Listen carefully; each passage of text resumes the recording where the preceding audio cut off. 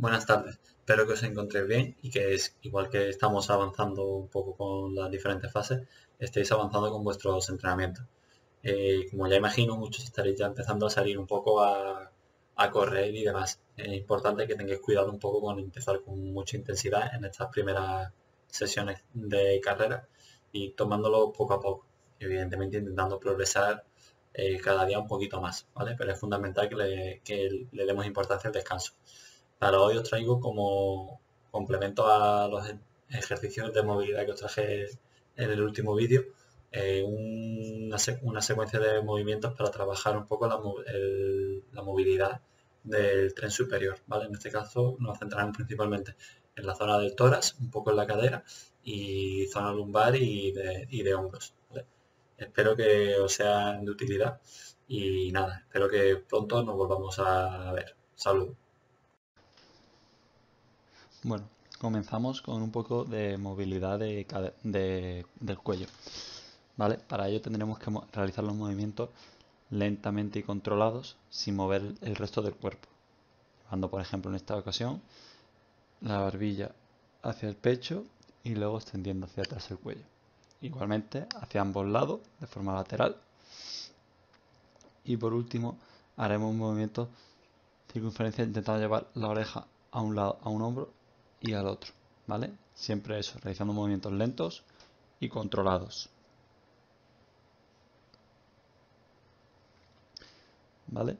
Este ejercicio es para trabajar un poco el tema de la rotación del tórax, ¿vale? Es importante que no solo trabajemos los músculos, sino que le demos un poquito de movilidad a todas nuestras articulaciones y músculos del cuerpo, ¿vale? En este caso tenemos que llevar los brazos pegados al cuerpo hacia atrás, llevando las palmas de la mano lo más cerca del cuerpo. ¿Vale? Este ya lo habréis visto bastante, el llamado gato camello, normalmente. ¿Vale? Importante controlar la respiración en el momento de realizarlo, ¿vale? Aquí simplemente tendremos que intentar llevar el cuerpo completamente, lo que es el tórax, hacia abajo y hacia arriba, sin que el resto del cuerpo se mueva. ¿Vale? Los hombros se quedan fijos y la idea es llevar hacia arriba y hacia abajo todo lo que es el, cuerpo. Aquí realizaremos una extensión del tórax y de las lumbares. Importante que no levantemos la pelvis, la cadera del suelo. En este caso yo despego un poquito, mm, no, no, no hay que hacerlo, ¿de acuerdo? Hacerlo siempre movimientos lentos y controlados. De igual manera podemos hacerlo como variante haciendo el mismo movimiento y pasando a una U invertida.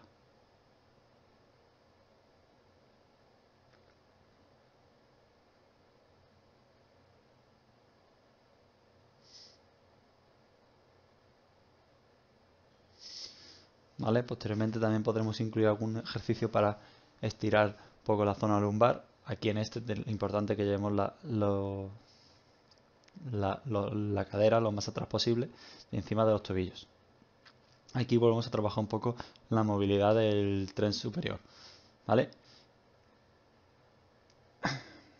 Aquí realizaremos una circunducción lumbar. Es importante que, a diferencia de como estoy haciendo yo, no levantemos el brazo del suelo lo, lo máximo que podamos. ¿De acuerdo? En función de la movilidad que tengamos, pues lo levantaremos un poquito más, un poco, un poquito menos. ¿Vale? Importante, las piernas estén en 90 grados para facilitarnos un poco la posición del cuerpo. Y aprovechando esa posición de las piernas a unos 90 grados con las rodillas, realizaremos una extensión lumbar. ¿De acuerdo? Realizaremos lenta y controladamente y aguantaremos un poco ahí la posición. Aquí añadiremos un poquito de estiramiento de la zona de aductores y caderas, ¿vale? Importante que la pierna de atrás esté apoyada sobre las punteras.